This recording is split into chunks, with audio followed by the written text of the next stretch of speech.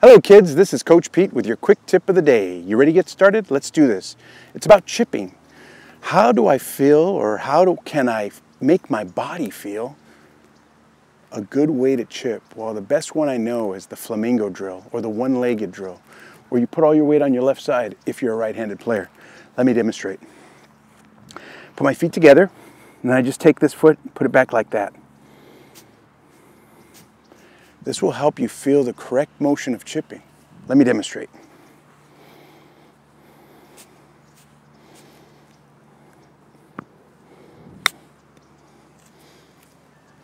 Notice how the ball went low and went to my target.